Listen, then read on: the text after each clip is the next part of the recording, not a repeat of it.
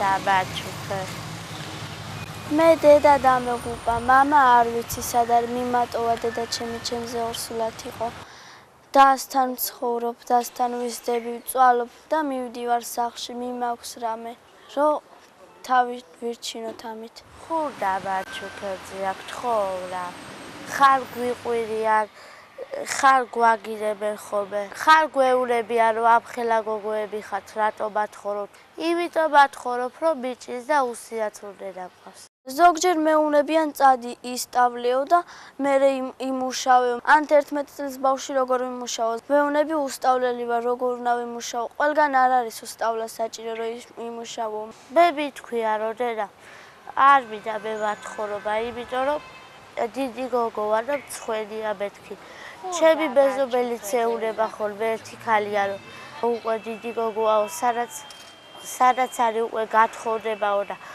მაგისთვის უკვე მათხოვრობა არ შეიძლება იქ სახში უნდა იყოსო სკოლაში არ მივლია იმიტომ რომ მეტრიკა არ მაქვს და არ ვიცი ჩემი მეტრიკა სად არის. სახელმწიფო სულ არავინ არ მოსულა ჩემთან არავის არ უთქვია დაგეხმარებითო გაკეთებაშიო დედიკომ შევიყვარა 13 წლის და პატარებში რო ვიჯექი მცხვეროდა.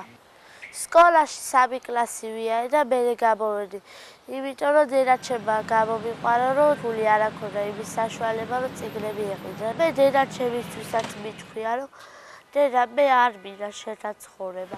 ნემო სუბედნიერი გზითი არის. სკოლაში რატო არ დადიოდა და აბა შეეკითხეთ ერთი გერმანული წიგსა თხოვდნენ 27 ლარს და მე საიდან მაქვს 27 ლარი?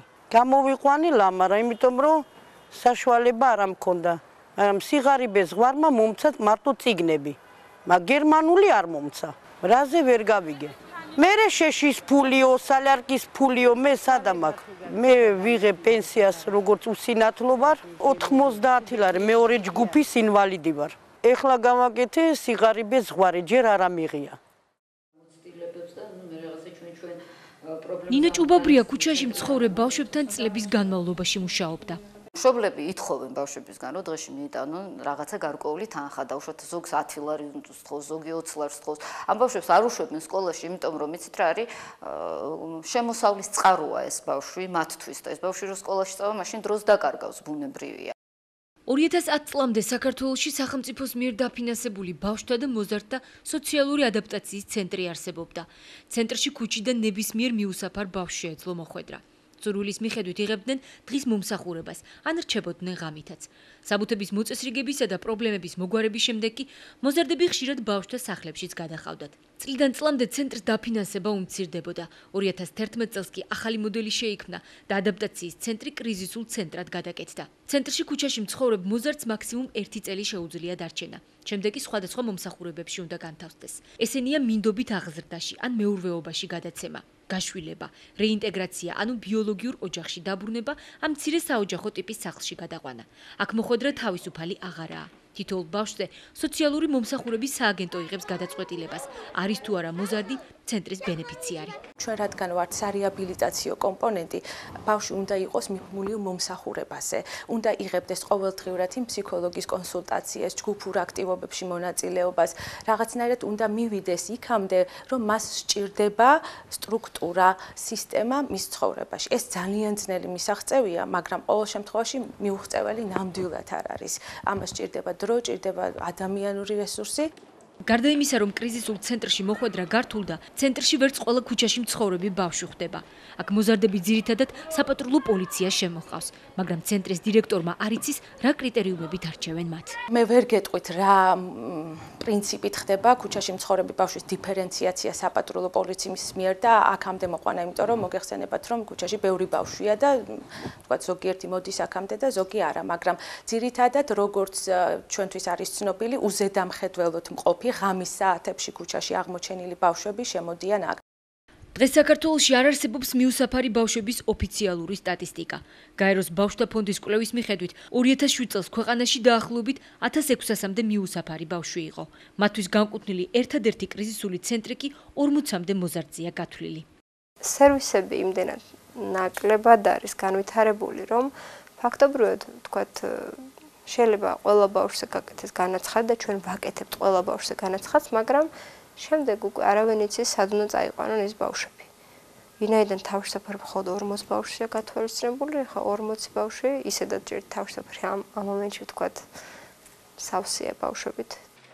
ამ 40 ბავშვი გარდა ქუჩაში მყოფი ბავშვებისა კრიზისულ ოჯახებში მცხოვრები სხვა არასრულწლოვნების მომსახურებად შედის. 2012 წელს ბავშვთა კრიზისული ცენტრის გახსნა ქუთაისშიც იგეგმება, თუმცა სპეციალისტები ამბობენ, რომ არც ესაა საკმარისი. კეთი კობალაძეს ქუჩაში მცხოვრებ ბავშვებთან მუშაობის 16 წლიანი გამოცდილება აქვს. იყო ბავშვთა და მოზარდთა სოციალური ადაპტაციის ცენტრის დირექტორი. ეს კრიზისული დახმარების ცენტრი როგორ გითხათ ახლა არა ალბათ არ არის საკმარისი. არა მარტო თქვათ ქალაქში ერთი არამედ რაღაცა დაუშვათ დიდ ქალაქში რამოდენიმე მაინც უნდა იყოს, რომ თუნდაც იგივე არ მოხდესო დაუშვათ ისევ ყაზარმული ტიპის რაღაცა იმათ იქცეს დაწესებულებად. ბავშვთა ზრუნვის სამართლოს უფროსი ეთერ ცხაკაია ამბობს, რომ ქუჩაში მყოფ ბავშვებზე საუბრისას კანონი ერთ-ერთი ყველაზე დიდი პრობლემაა. სწორედ კანონი ზღუდავს მათ იზრუნონ იმ ქუჩის ბავშვებზე, რომლებსაც მშობლები ხავთ. და როდესაც ბავშვს ყავს კანონი არასრულწლოვანს კანონიერი წარმომადგენელი, ჩვენ ცოტა ჩვენს ქმედებებში ვართ შეზღუდული. შესაბამისად, კანონის დონეზე შევიდეს რაღაც ცვლილებები და ამ მიმართულებითაც მუშაობს სამუშაო ჯგუფები. ვფიქრობ, შევჯერდებით, რაც ცვლილებები არის შესატანი, რომ ჩვენ მეტი უფლებამოსილება გქონდეს, რომ ეს პრობლემა რაღაცნაირად მოვაგვაროთ. გარკვეული იძულების მექანიზმებიც უნდა იყოს, თუნდაც იმ შობელი, რომელიც ოცხალია და ჯანმრთელია და შვილის ხარჯზე ცხოვრობს, რა თქმა უნდა, სახელმწიფოს თავისი იძულების მექანიზმები უნდა კონდეს, თუნდაც დასჯის, გაფრთხილების, რომ თუ თქვა ეს კიდე განმეორდა და ასე შემდეგ. ანუ ეს ისეთი კატეგორიაა, რომ თქვა არავინ არ არის ძალადობის მომხრე ნამდვილად და არც სახელმწიფო არ უნდა იყოს მოძალადე, მაგრამ ბავშვის უფლება უნდა იყოს წინ წამოწეული. ჯანდაცვის სამინისტროში აღიარებენ, რომ ჯერჯერობით არ გააჩნიათ პოლიტიკა იუსაფარი ბავშვების მისამართით. თუმცა ეთერ სხაკაიას თქმით, უკვე ასრულებენ ბავშვთა კეთილდღეობის 2012-2015 წლის გეგმაზე მუშაობას. ამ ქუჩის ბავშვებს ძალიან ბევრი პრობლემები აქვს დაწყებული იდენტიფიცირებიდან, მათი ოჯახის წევრებიდან, დოკუმენტაციის მოწესრიგებიდან, სამოქალაქო რეესტრის წარმომადგენლებიც არიან სამუშაო ჯგუფში ჩართულები და გაიწერა აქტივობები, ეხლა დაიხვეწება ყველა სტრუქტურა თავის კომ კომენტარს მოგვაწოდებს, შეიკრიბება და უახლოეს მომავალში პრეზენტაცია გაკეთდება, როგორ უნდა დავიწყოთ ქუჩის ბავშვების პრობლემის მოგვარება. ასე რომ სახელმწიფოს არ აქვს მექანიზმი, რომლითაც ქუჩაში მცხოვრები ბავშვების უფლებებს დაიცავს. ერთადერთ ცენტრში, რომელსაც მიუსაფარი ბავშვების რეაბილიტაცია ევალება, ქუჩაში მცხოვრები ყველა ბავშვისათვის საკმარისი ადგილი არ არის. ამას ემატება კანონის ნაკლოვანებებიც. შედეგად კი ასობით არასრულწლოვანი აგრძელებს ქუჩაში მათხოვრობას, მეძაობას, ქურდობას და წებოს სუნთქვას. 1 2 პარალელურად საქართველოსი ბავშვთა დეინსტიტუციონალიზაციის პროგრამა მიმდინარეობს, რომელიც ბავშვთა სახლებში მცხოვრები არასრულწლოვნების ბავშვთა სახლიდან გაყვანას გულისხმობს. პროგრამის ფარგლებში დაიხურა 15 ბავშვთა სახლი და 2013 წელს დაგეგმილია დარჩენილი კიდევ 6 ბავშვთა სახლის დახურვა. კრიზისულ ცენტრში მყოფების მსგავსად, იქ მცხოვრები ბავშვებიც შემდეგ მომსახურებებში გადანაწილდებიან. მინდობით აღზრდა, მეურვეობა, გაშვილება, ბიოლოგიურ ოჯახში დაბრუნება და მცირე საოჯახო ტიპის სახლებში აღზრდა. ჯანდაცვის სამინისტროს 2011-12 წლებში ბავშვთა ზრუნვის სისტემის რეფორმის ძირითად მიმართულებებში ვკითხულობთ. შესაძლებელია ბავშვთა სახლებში მყოფი კონტინგენტის 30-35%-ის ბიოლოგიურ ოჯახში დაბრუნება და 8%-ის მინდობით აღზრდაში გაყვანა ან გაშვილება. ჯანდაცვის სამინისტრომ სტუდია მონიტორს ვერ მიაწოდა დოკუმენტაცია რა მეთოდოლოგიით და როგორ ჩატარდა კვლევა. 2010 წელს ბიოლოგიურ ოჯახს სულ 347 ბავშვი დაუბრუნდა. 2011 წელს დიღმის ბავშვთა სახლი ასპინძის ბავშვთა სახლში გადავიდა. ლელას 4 შვილიც დიღმის ბავშვთა სახლში ცხოვრობდა. მათი ბავშვთა სახლში წაყვანა უკიდურესი გაჭირვების ფონზე გადაწყვიტა. ბავშვების ავადმყოფობის შემდეგ სახლი გაყიდა და ძიმი პირობებში აღმოჩნდა. ზაფხულში მოულოდნელად ფაქტის წინაშე დადგა, რომ ბავშვთა სახლი იხურებოდა და მისი შვილებიც სხვა ბავშვებთან ერთად ასპინძაში გადაყავდათ.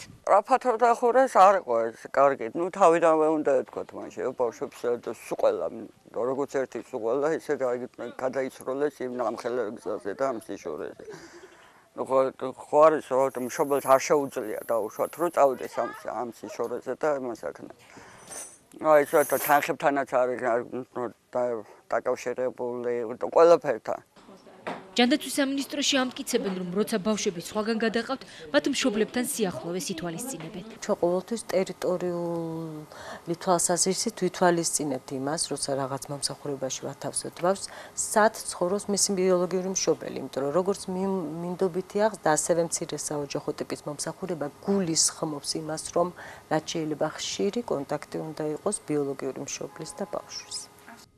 კითხვაზე გაითვალისწინეს თუ არა ასპინძაში გადაყვანისას ასპინძის თბილისთან შიშორე ეთერ ცხაკაიეკ პასუხობს რომ ეს ის შემთხვევაა როცა ბავშვების შორს მაძილზე გადაყვანამ კარგი შედეგი გამოიღო. ბევრმა დაიბრუნა მინდა გითხრათ ამას ძალიან პოზიტიური შედეგიც მოყვა. იმ ოჯახებმა რომლებიც არასდროს არ გამოიყვანდნენ და ყავდათ ბავშვთა სახლში ამ პოზიტიური შედეგის დამსახურებაა რომ ლელას ბავშვთა სახლიდან წამოყვანილ 4 შულთან ერთად სოციალურად დაუცველობის დახმარებით თვეში 174 ლარით უწევს ცხოვრება. ძალიან მიზერულად აკვაფნის რა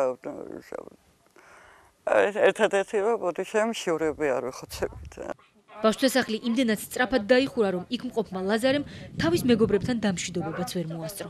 ჩემს სამყაროსო მეგობარი იყო ერთმანეთ შევიდით და ერთმანეთ სახლებში წავიყვანდით და ვანახებდით ჩვენ ჩვენ სახლებს და როცა ბავშვთასახლი დაიკეტა ვეღარ მოვასწარით ერთმანეთ სახლში წაყვანა და აბა პირველი მე წამოვედი აქეთ და იქ დავემშვიდობეთ ერთმანეთს და ის მე წავიდა თავის სახლში და ის მე აღარ მინახი.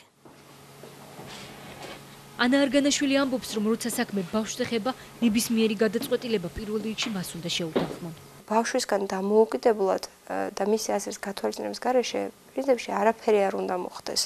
ამიტომ ინდიკატორი იმისა თუ რამდენად ეფექტურად მოხდა ეს დეინსტიტუციონალიზაცია, ესეც არის, რომ ხშირ შემთხვევაში ბავშვები აღნიშნავდნენ, რომ თქვა ერთ-ერთი ბავშვი ამბობს, რომ გასული იყო ბავშვთა სახლიდან ექსკურსიაზე თუ რაღაც ღონისძიებაზე და როდესაც დააბრუნდა, მას უბრალოდ დაახვედრეს ინფორმაცია, რომ ის ბავშვთა სახლში აღარ ირიცხებოდა. წარმოიდგინეთ, რამხელა ფსიქოლოგიური შოკი იქნებოდა მისთვის, ხო? ანუ უბრალოდ უთხრეს, რომ მისი ადგილი იქ აღარ იყო. დეინსტიტუციონალიზაციის პროცესში პრობლემა ისიცაა, რომ ოჯახში დაბრუნებული ბავშვების ნაწილს განათლებისა და ჯანმრთელობის უფლება შეეზღუდათ. თათია ერთ-ერთი რაიონის ბავშვთა სახლიდან რეინტეგრაციით ოჯახში დააბრუნეს, თუმცა მის სოფელში სკოლა არაა და ოჯახის მაგივრად რაიონში ბიცოლასთან აღმოჩნდა.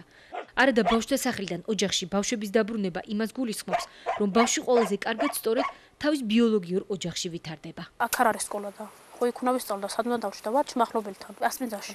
და ვცხოვრობ იქ. იმით ჩემს საფასურს ვიხდი მე იქ. ჩემთან საფთან, იმიტომ რომ მასაც უჭირს და ნუ ჩემი საკვებით რომ ყველაფერი მიმაქმე იქ. პირველ რიგში ოჯახის უზრუნველყოფის გეგმაში უნდა იყოს გათვალისწინებული ის, რომ ბავშვის ყველა უფლება არის თანაბარ მნიშვნელოვანი. ის რომ ოჯახში დაბრუნდა მშობლებთან ცხოვრობს ძალიან კარგია, მაგრამ ამავე დროს ბავშვს აქვს უფლება, რომ მისი ჯანმრთელობის უფლება იყოს დაცული, რომ მას სკოლაში სიარული არ შეეზღუდოს, რომ სხვა სოციალური უფლებების დაკმაყოფილდეს. რეინტეგრირებული მოზარდი ამბობს, რომ მას არც სამედიცინო დაზღვევა აქვს. ნუ დაზღვევა არაფერი არა გვაქვს და არც პოლუსი და ნუ არც არა. кейსებიდან რომ გამოვიდეთ, სადაც ჩვენ ნახეთ, იქ არ იყოს დაზღვევა. ერთ-ერთ შემთხვევაში ჩვენ ამდუოდ ნახეთ, რომ ბავშვს გონდა ჯანმრთელობის პრობლემა რეინტეგრაციის შემდგომ და მშობელი ვერ ახერხებდა ელემენტარულად წამლების ყიდვას. სახალხო დამცველის 2010 წლის ანგარიშში რეინტეგრაციის პროცესის მიმდინარეობისას აღმოჩენილ დარღვევებზე საუბრისას მშობლის უფლების შეზღუდვის საკითხიც მოხდა. მშობლის უფლების შეზღუდვა მშობლის უფლების ჩამორთმევას არ ნიშნავს. ეს დაკავშირებულია იმასთან, რომ ხშირ შემთხვევაში, როდესაც ბავშვები აბარებენ ბავშვთა სახლებში, მე მშობლები მხედველობის არიდან კრებიან და ხშირად ბავშვს აქვს საჭიროებები ისეთი რომლის გადაჭრა ჩვენ რადგან არა ვართ მათი კანონიერი წარმომადგენლები არ შეგვიძლია და მხოლოდ აი ესეთია მაგალითად ბავშვის ჯანმრთელობის პრობლემების მოგვარება. ოპერაცია სასწრაფო რომელიც არასრულწლოვან ბავშვზე უნდა განხორციელდეს და რომლის კანონიერი წარმომადგენელი მშობელი მე ამ ყავს სახეზე რომ ვკითხო მას თანახმად თუ არა ის ამდენად პროცედურულად, როცა მას ეზღუდება მხოლოდ წარმომადგენლობითი უფლება. მხოლოდ იმისთვის, რომ მიშულზე ვიზრუნოთ. მშობლები ამბობდნენ, რომ ასე ვთქვათ, მათ დაემუქრენ. შეიძლება ეს თქვა ვიხმაროთ, რომ შეუზღუდავდნენ მშობლის უფლებას, მაგრამ არა უხსენს, რას ნიშნავდა მშობლის უფლების შეზღუდვა.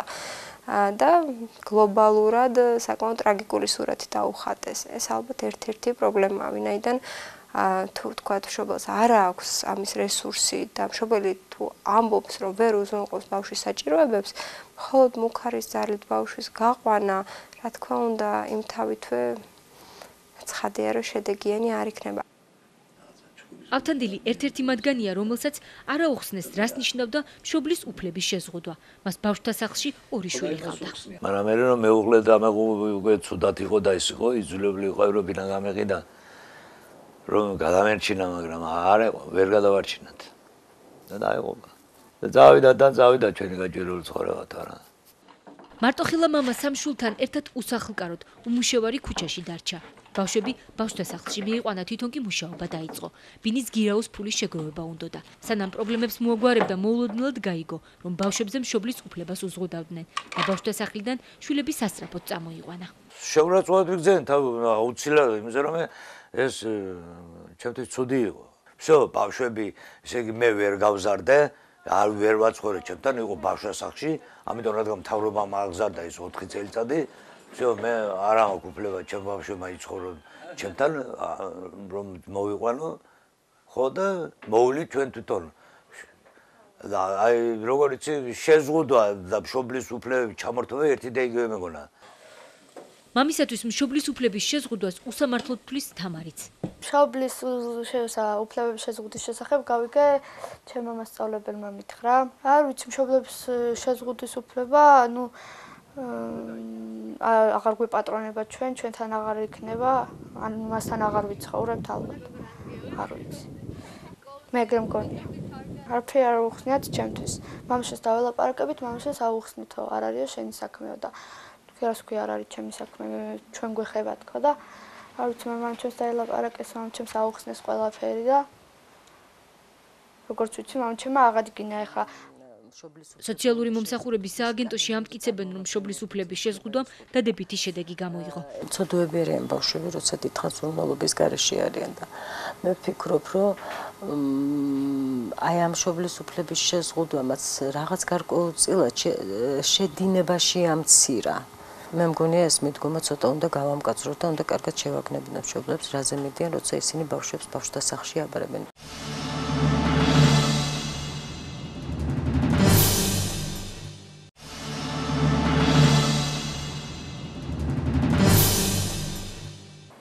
რითი ეხმარებიან ბავშვებს, რომლებსაც ბავშვთა სახლიდან ოჯახებში აბრუნებენ? 90 ლარი ყოველთვიურად. ჯანმრთელობის დაზღვევა, საჭიროებიდან გამომდინარე დღის ცენტრის მომსახურება, კვების ვაუჩერი 0-დან 2 წლამდე ბავშვებისათვის. შექმნილია რეინტეგრაციის ფონდი, რომელიც ოჯახების ნაწილისათვის საჭიროების მიხედვით გამოყოფს თანხას, მაგალითად სარემონტო სამუშაოების ან სასკოლო ნივთების შესაძენად. რეინტეგრაციის დახმარება ეს არ არის პენსია, მუდმივი დახმარება და ეს არის დროებითი მხარდაჭერა ოჯახის, რომლითაც ის უნდა გაძლიერდეს და სამომავლოდ უნდა შეძლოს მან ჩვენი ესეთი საკამაოდ ძლიერი და დახმარებით და თანადგომით დამოუკიდებელი ფუნქციონირება. კანონში არაა განსაზღვრული რა დროის განმავლობაში აძლევენ ოჯახებს ამ საკმაოდ ძლიერი დახმარების ფარგლებში გამოყოფილ 90 ლარს. ოჯახების თქმით, დახმარება ძირითადად 1 წელი, იშვიათად მაქსიმუმ 2 წლამდე გრძელდება. ნანას დეინსტიტუციონალიზაციის პროგრამის ფარგლებში რეგიონში არსებული ერთ-ერთი ბავშვთა სახლიდან ორი შვილი გამოატანეს. არის ის როგორ უნდა არჩინოს ბავშვები დახმარების შეწყვეტის შემდეგ. გავაკეთებინე დახმარება, რომელიც ეს სოციალური დაუცველობის 100 ლარს ვიღებ. და ეს გამოყვანის მერე ბავშვების დახმარებაც დამენიშნა. 180 ლარი ორივე 90-90 ლარი. დღესდღეობით კი ყოფნის. და მე არ ვიცი. მე დავჩები 100 ლარზე, რომელიც ყველაფერი შეგვეზღუდება რა. იმიტომ რომ ყველაფერი გამძვიდა, შაქარი ორ ნახევარი იქნება, ეხლა 1 კილო შაქრით ვერ გაიყვან თელი თვიდან თვენდება, ოსა ჩაი უნდა 1000 რაღაცა, მურაბა არის, კამპოტია. უნდა გავაკეთო ბავშვს, რომ კონდეს მე ზამთრი საკვები და არ მყოფნის. არ მეყოფა ფაქტიურად. მარტო 45 ლარი ფქვილი ეყირება. ნუ არ ვიცი ჯერ. თლა არ ვიცი რა შეჟა. გიორგისაც ორი ბავშვი გამოატანეს ბავშვთა სახლიდან. არ ვიცი რა მოხდება მის შემდეგავ ჯეჯერობით დახმარებას იძლებიან და მე რა ხომ რა მოხდება არ ვიცი. არაფერი არა უთქვეთ რა ნახო დრო გუჩვენესო როგორ იქნება როგორ თავრობა გადაწყვეტეს ასე თქვი ეს კაცო. თავრობაზე დამოკიდებული ჩვენი ჩვენი უფლება არაფერი გვაქვს ასე თქვი ეს კაცო. თათიას ოცნება უმაღლესი სწავლაა, თუმცა როგორც ამბობს რეინტეგრაციით გამოყოფილი ფული 90 ლარი არ ყოფნის რომ გამოცდებისათვის მოემზადოს. მეცნიერებაში მინდა რომ მეყოს, მაგრამ ვერ ვწდები მაგდენ იმას და ვერ ვიხდი მეცნიერების ფულს. მაგ 90 ლარი. ნუ გარდა 90 ლარისა არაფერი დახმარება არ აგვაქვს. 90 ლარი რეალურად საკმარისი თანხა არ არის ბავშვის სარჩენად. მაგრამ მე კიდევ ერთხელ ვიმეორებ, ჯერ საერთოდ უნდა გამოითვალოს სამოხმარებლო კალათა და ამ სამოხმარებლო კალათის მიხედვით უნდა გაიცეს ეს თანხა თუ გინდა რომ ოჯახმა ბავშვი გააჩეროს სახლში. თუ ოჯახი ისევ იმავე მდგომარეობაში იქნება, რასაკვირველია ამ თანხის შეწყვეტა არის ყოველად მიუღებელი. იმ 90 ლარის, თქვა და დარჩა ეს 90 ლარი. ეს 90 ლარიც არ უნდა შე. ნუ ეს ჩემი პირადი აზრია, რასაკვირველია ხა მე არვის არ ვახვე, მაგრამ ხო როგორ შეიძლება მაგალითად ოჯახი იყოს მათხოვრობის პირას მისული და იმას შეუწყვეტო შენ დახმარება. ჯანდაცვის სამინისტროშიც აღიარებენ, რომ ბავშვის სარჩენა თვეში 90 ლარზე ბევრად მეტია საჭირო.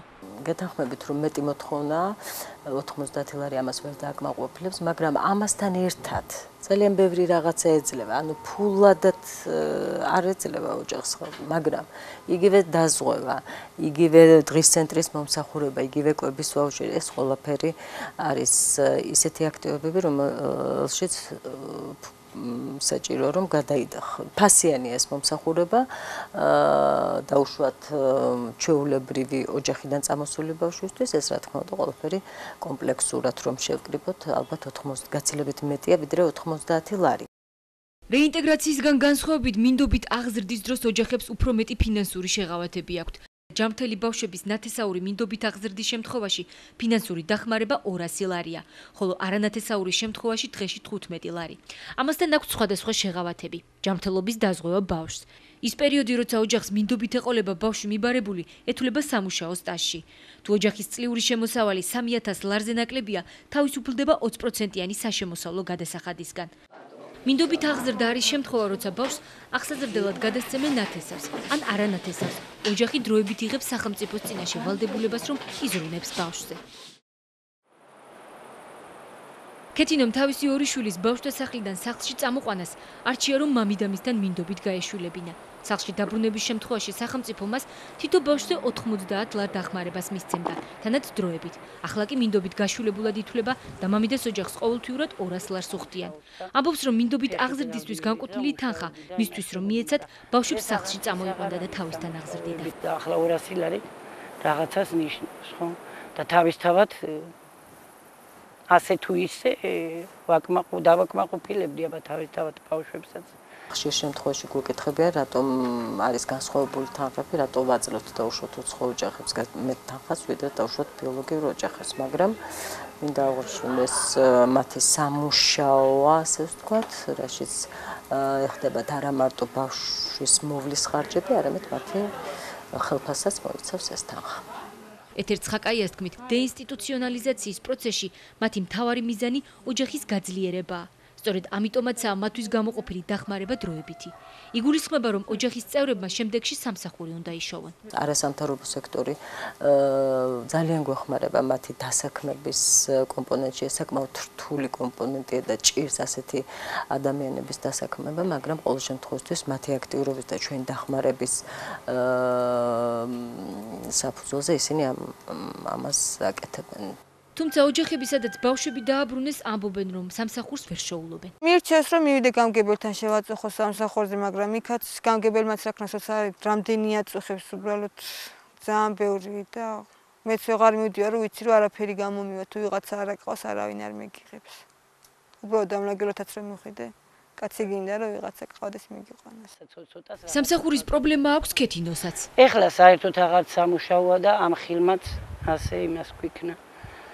რომ აი ხან სიტყვა გვიფუჭებს, თქვათ ხან სიცხია თუ რაღაცა არის და ისეთი რაღაცა რო იყოს მაინც რომ აი სამუშაო კონდეს ადამიანს ახლა ბავშვი გარეთ გასული და სხვის ხელში ნამყოფი ნამდვილად არავის არ გაუხარდება არც ერთ მშობელს. გრძელვადიან გეგმაში სწორედ იმაზე უნდა იყოს საუბარი, რომ ოჯახს აღარ დაუდგეს არასდროს იმის რისკი, რომ მოუწიოს ამ ბავშვის ხელახლა განმეორებით ჩაბარება ბავშვთა სახლში, რაც სრულად ბუნებრივი შედეგი იქნება თუ ამ ბავშვის საჭიროებები ვერ დაკმაყოფილდა. შესაბამისად ეს გრძელვადიანი გეგმა უნდა იყოს ბავშვის ინსტიტუციიდან გაყვანის თანავე დადებული, რომ მე მოულოდნელად არ აღმოჩნდეს, რომ აი ჩვენ როგორც ნახეთ რამდენიმე ოჯახი, რომელიც ითხოვდა ბავშვის ხელახლა დაბრუნებას ინსტიტუციაში და ამას უკვე ვეღარ ახერხებდა. ამ დროს ზარალდება ყველა ბავშვი, ოჯახი და რთული საზოგადოება. ექსპერტების თქმით, ყველაზე მნიშვნელოვანი ფაქტორი პრობლემის პრევენციაა. პრევენციის სახით უნდა არსებობდეს სხვადასხვა სახის ცენტრები, რომლებიც გაჭირვებულ ოჯახებს საჭირო დახმარებას გაუწევენ. ცენტრების სახეობები კი ბავშვებისა და ოჯახების საჭიროებებიდან უნდა გამომდინარეობდეს. მაგალითად, შაბათკვირის ცენტრები ან ცენტრები მარტოხელა დედებისთვის. სახელმწიფო ოჯახს ყველანაირად უნდა შეუწყოს ხელი, რომ არასდროს გახდეს იძულებული ბავშვი ბავშვთა სახლში ჩააბაროს ან მიატოვოს. საქართველოში ბავშვთა მიტოვების პრევენციის კუთხით ცენტრებს შორის განვითარებული მხოლოდ დღის ცენტრი და დედათა და ბავშვთა თავშესაფარია. ნანაიაშვილი არასამთავრობო ორგანიზაცია ბავშვი და გარემოს ხელმძღვანელია და სახელმწიფოს დაფინანსებულ 4 დღის ცენტრს კურირებს. აქ სოციალურად დაუცველი ბავშვები დღის განმავლობაში სხვადასხვა სახის მომსახურებას იღებენ. ეს ცენტრები პრაქტიკულად ასრულებს ოჯახის დახმარების ფუნქციას, ხო? აქედან გაუმდინარე, მდგომარეობა საკმაოდ რთულია, ხო? ძალიან მაღალია უმუშევრობა. ბევრი ადამიანი არის სამსახურის გარეშე დარჩენილი და სიღარიბის ზღვარზეა მისული. რასაკვირველია, აი დღევანდელი პირობებიდან გაუმდინარე, ასეთი ცენტრი უნდა იყოს ძალიან ბევრი. ანა არგანაშვილის თქმით, პრობლემაა ისიც, რომ არ ხდება ბავშვთა დეინსტიტუციონალიზაციის პროგრამის მონიტორინგი. ჩვენთვის ცნობილია, რომ სახელმწიფოში მაგალითად არ არსებობს ქუჩის ბავშვების აღრიცხვა. ჩვენც ასევე ცნობილია, რომ რამდენიმე რეინტეგრაციაში მოხვედრილი ბავშვი ან ოჯახში დაბრუნებული ბავშვი მათხოვრობით იჩენდა ბავშვს. სავარაუდოდ, არასწორად განხორციელებული რეინტეგრაციის პროცესმა შეიძლება გაზარდოს ქუჩის ბავშვების რიცხვი და თუ ჩვენ არ გვექნება ქუჩის ბავშვების ზრდის სტატისტიკა, ძალიან რთულია ვილაპარაკოთ, რომ დეინსტიტუციონალიზაცია ეფექტურად მიმდინარეობს. საპირისპირო სამტკიცებენ ჯანდაცვის სამინისტროში. ოჯახის შეფასების შემდეგ ჩვენ, რა თქმა უნდა, უკვე ვახორციელებთ რეინტეგრაციის პროცესს, ანუ ბავშვს ვაბრუნებთ ოჯახში და ამის შემდეგ აუცილებლად გაძლიერებულ მონიტორინგს ვაწარმოებთ, ანუ როგორ მიმდინარეობს ბავშვისა და ოჯახის თანაცხოვრება, როგორ ვითარდება ბავშვი, ამისთვის სოციალური მუშაკი ახორციელებს ყოველთვიურად მონიტორინგს. დეინსტიტუციონალიზაციის პროცესში სახელმწიფოს გარდა სხვადასხვა არასამთავრობო ორგანიზაციებია ჩართული. სახელმწიფომ კი პრევენციისა და დეინსტიტუციონალიზაციის ნაციონალიზაციის, აგრეთვე მზრუნველობის ორგანოს კანონმდებლობით განსაზღვრული ფუნქციების შესასრულებლად 2009 წელს 4 მილიონ 700 ათასამდე ლარი დახარჯა. 2010 წელს 3 მილიონ 700 ათასი, ხოლო 2011 წელს 9 თვეში მილიონ 700 ათასია დახარჯული. ჯანდაცვის სამინისტროს მონაცემებით ყოველთვიურად 18 წელი საშუალოდ სახელმწიფო ზრუნველობაში მყოფ 50 ბავშვს სრულდება. სადმიდიან 18 წლის მერე ისინი არავინ იცის. ლევანი უკვე 24 წლისაა 16 წლის იყო როცა ბავშვთა სახლიდან ისე გამოუშვეს რომ არავის უკითხავს სად მიდიოდა. ბავშვთა სახლში არც ხელობას არ გვასწავლენ არც პროფესიას არაფერს არ გვასწავლენ. 16 წლიდან რომ წამოვედით არც კითხეს სად იქნებით სად არა. წამოვედით ჩვენს ქუჩაში ვიქნებით ზოგი ახლა მიდიოდნენ მოსაპარად ზოგი არ მიდიოდა და ეს ზოგი დაიჭირეს ზოგიერთი ორი მოკვდა რა ვიცი სიცივისგან და ეგეთ რა ყინოზე ბრალდებიან ერთი მაკარონზე იყო და ახლა დაჭრილია მაგრამ შიოდა და წავიდა მოიპარა და დაიჭერეს ჯიბეში ვის რა უძრებოდა ვის რა ჯიხურს ამტრევდა ზოგი და ეგრე. წებოსაც უკავდნენ ზოგი მე უკავდი ადრე სულ ადრე. მე გავალებით ბოლოს უკავდი გაბრიებული დავდიოდი მე ცესაც ვერ ძნობდი და რა ვიცი ვიდა რომ ყოველ დღე მქონდეს ჩემი სამუშაო და ყოველ დღე რომ ვიარო სამუშაოზე და მქონდეს ჩემი მოსავალი. აი ეს მინდა. ექსპერტების თქმით, ბავშვთა სახლების დახურვა პროგრესული გადაწყვეტილებაა, თუმცა ოჯახებში დაბრუნებული ბავშვების უმეტესობა რთულ პირობებში ხვდება. დღევანდელი პრაქტიკით სახელმწიფო შეთავაზებული დახმარებებით რეალურად ოჯახი ვერ ძლიერდება და სახლში დაბრუნებულ ბავშვებს ისევ ქუჩაში მოხვედრის საფრთხე ემუქრებათ.